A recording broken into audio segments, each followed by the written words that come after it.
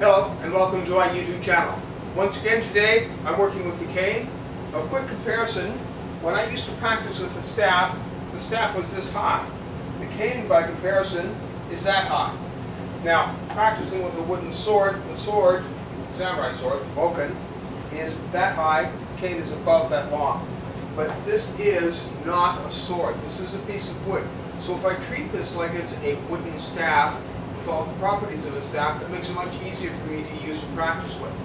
Now this particular drill is designed to teach me to be able to kick with the cane. Ideally when I do that, what I would do if I were doing say sliding kicks, is I would simply divest myself of the cane, maybe do a front kick, or an offset, or roundhouse, or side kick.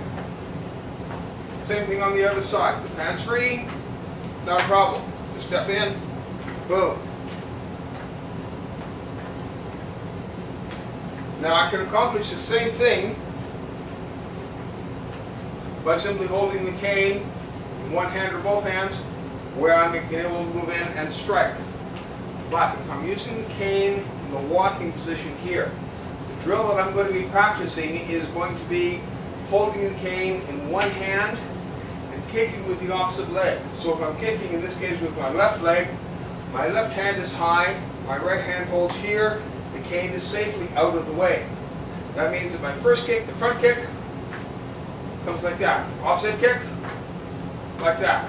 Leading horse, round kick, and side kick.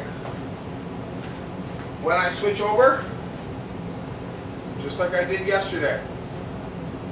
From here when I'm kicking, the whole idea is that my stomach is tight and firm, my knees are bent, the weight is on the balls of my feet. Front kick, Offset. Round kick. Or side kick. The whole idea is that it's a powerful, strong, effective movement.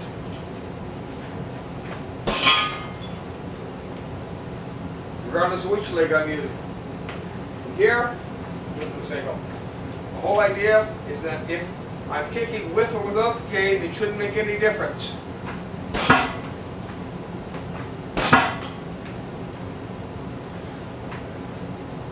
That's a sliding kick with the cane.